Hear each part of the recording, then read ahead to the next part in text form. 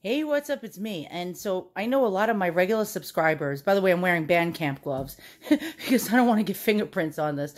Um, I know a lot of my subscribers would rather watch paint peel than watch one of these videos. But then there's uh, an ass for every seat, as they say. So there's got to be somebody out there that's interested in this type of stuff. So I'm going to actually try to not to make this video a 20 minute video because most people have an attention span of 33 seconds. So I wanted to show you some of the scent box uh, scent boxes in my collection, and these are antique. These are actually, most of them, 99.9% of them are French.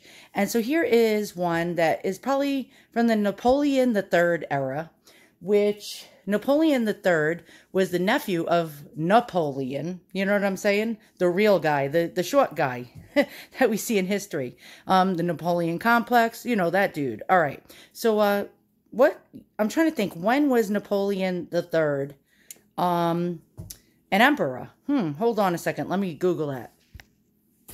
I'm back. Um, he was first president of France from 1848 to 1852, and uh, his name was Charles Louis or Louis Napoleon Bonaparte. And then he became emperor from 1852 to 1870. And so this is from that time frame. And look at the beauty of this. Look at the, by the way, my dog is humping a stuffed animal right now while I'm doing this video. Hold on one second. I have to kick his gnarly stuffed animal across the room. And he's uh, he's actually interrupting my video. Okay, if you hear grunting and stuff like that, just ignore it. Okay, so uh, look at this beautiful workmanship in the top. Um, that's some kind of like, I think brass or bronze or something in there with mother of pearl. Um, you can see the little white flowers that are mother of pearl. And uh, we have this little original lock and key. And nine times out of 10, as I collect these, I can never find the original keys with them. So that is a plus. Okay, so what's inside? And there we go. Okay, so what is inside is these beautiful scent bottles. And oh my God, my dog is continuing to do dirty things underneath me. Hold on one second. I have to kick his nasty stuffed animal out of the way. Okay.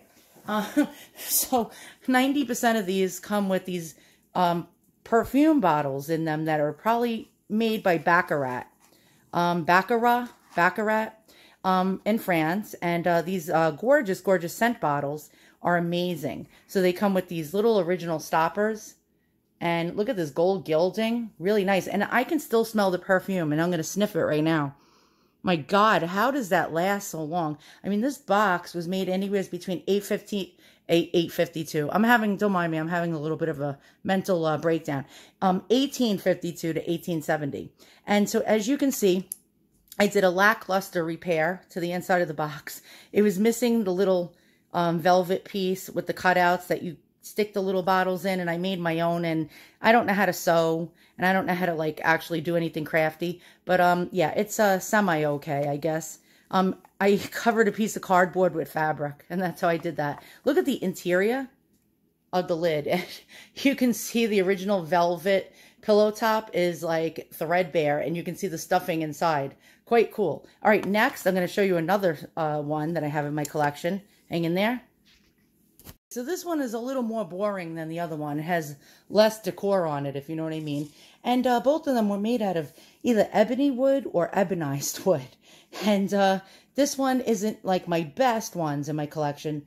And as you can see why, it's because it's missing a Baccarat glass bottle, um, a French Baccarat glass scent bottle. But uh, here we go, and I'm going to show you how cool these bottles are. Look at the little gold stars. Um, and the gold stars on the cap. Quite cool. Sometimes you'll even find them with a little bit, whoa, oh, I was going to say shit, but yeah, I said it anyway. Um, sometimes they even come with a little bit of the perfume inside the bottle, and it's like fossilized perfume, almost like amber. And uh, I guess we have a mark on the bottom. All right, I'm going to show you my next one. Did I break this? Crap. I always do something stupid on video. All right, let's uh, get the next one. Now, what are these things, by the way? well, pretty much women had a box for everything back in the olden days, even men. They kept uh, their stuff in boxes and uh, they would travel a lot. So a lot of people would actually uh, get a trunk, fill their trunk up with their belongings and go traveling. And so they needed to protect their beautiful things with boxes. And there you go. It's like a trunk uh, to go inside a trunk uh, to hold bottles. All right, let's get the next one. So this one is like probably my second favorite one in my collection. Again, from probably the same era, the Napoleon III um, era. And uh, as you can see, it has its original key.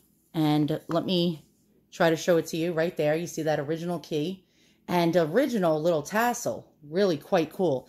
And the really great part, hold on. Um, this thing is very slippery because I polished it. We have tortoiseshell, um, and it's called Boulle work. And uh, we have tortoiseshell with this beautiful brass design in the top. And uh, that is unmistakably French. This type of design of uh, what's known as boulle work with the tortoiseshell was probably in fashion, probably in the 1700s, and was carried on through uh, subsequent generations. And uh, look at the workmanship on this ebonized wood. Now, a lot of these boxes were made with very exotic woods. This wasn't for uh, poor people. usually the wealthier, well-heeled, uh, well-heeled women uh, had something like this uh, to hold their perfume bottles. And here's what I notice. I do not think that these bottles are original at all. Um, this is not something from the uh, Napoleon III era. Unless I'm wrong, I could be wrong. It's this beautiful starburst pattern, silver top, but these appear to be English to me, unless, let's see, does it have an English marking in it? If it does, then these bottles are probably not original. Or maybe they are. I don't know because I'm not too much of an expert. But uh, we also have, um, I think, a design on the top with somebody's initials. Quite cool. But I really do not feel that these bottles actually originally came with this. So what are you going to do, right? Shit happens. All right, so next, I'm going to show you the next uh, scent caddy in my collection. Next one is a beautiful, again, probably Napoleon III, um, or maybe a little later, um, olive wood uh, scent casket. And uh, this one has uh, beautiful, like, tiger stripes going throughout the uh, wood um, pattern, as you can see here. Um, and this one does not have a key or a lock. So this was probably a little bit of a more of a middle class ladies uh, uh, scent caddy box. But then again, what do I know? I'm not an expert. I always leave papers in here, by the way, so if I drop dead, my kids will know what my things are. I always make videos like this, actually, for death purposes. I'm very uh, morbid and I have bad anxiety and I always think I'm going to die soon. And yeah, if I have a pimple, it's immediately a tumor. And so I make these videos so if I drop dead, my kids will know what I have. So it's not even uh, probably for you guys to even watch. Um, kids, if you're watching, sorry I'm dead. Um, but this is actually valuable. You can sell this for about four to five hundred dollars. All right, next. Um, so this one comes with uh, Baccarat glass bottles. Uh, I call them Baccarat. It's a New Yorker's way of pronouncing everything wrong, but it's a, a actually Baccarat glass. And uh, look how beautiful this glass is. Baccarat glass is one of the finest glass um, ever made and probably still made today in France. So there you go. Another beautiful French and again, olive wood scent caddy box. All right, next. Let's get the next uh, victim. All right, so this one has, well, I'm, again, no expert, but it has like the 1860s time frame written all over it. Um, again, I could be wrong. It could be 1850s. Um, and this, I think, is either mahogany or rosewood. And uh, it's quite spectacular. Look at that shine. And I do constantly polish these. And then you have that little brass little uh, placard and then another brass placard over there. It's missing its original key. I actually uh, made a key with my Dremel. I got a replica key and I got it to fit in here and work. All right, and wait till you see these bottles. These bottles are exquisite, and here we go. So these are cranberry colored, and uh, you don't generally see this color very often, and uh, I absolutely love it. It's um almost like a graduated color. You see like it's more clear on the bottom. As you move up, we get more cranberry in color. These are uh, quite spectacular colored glass uh, perfume bottles with the original stoppers on top. And um, I generally have never seen one of these caddies with bottles this color in it before. But then again, they're probably out there. So that is uh, my other uh, scent caddy box. And I think I have one more to show you before I go. I actually have more, but I put them away and I don't feel like getting them out. Um, they're like uh, actually entombed in my China uh, class China, what the hell am I saying? China glass cabinets. And uh, again, I'm having another senior moment. I couldn't get any more out. They were like entombed in my China uh, glass cases. So I'll just show you a little bit more of my scent paraphernalia. and I am pretty addicted to these antique scent bottles. And here is a beautiful 19th century, probably late 19th century. Um, actually, it's Italian but it was made for the uh, Moser in Czechoslovakia, otherwise known as Bohemia um, at the time, glass company. And uh, look at that lollipop stopper. That is quite cool. We can't really get a focus, but look at that enamel work. Um, I mean, that is just absolutely amazing. So there's one cologne bottle right there. Um, here we go. We have the vapors. And the vapors was what they called uh, people that were having panic attacks in the 1800s.